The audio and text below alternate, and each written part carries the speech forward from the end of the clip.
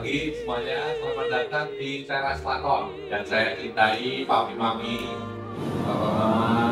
Dan saya hormati Direktur Komunikasi kantor kantor lain yang sudah terlibat dan sudah kerja keras untuk menjadikan ini suatu kenyataan. Banyak terima kasih.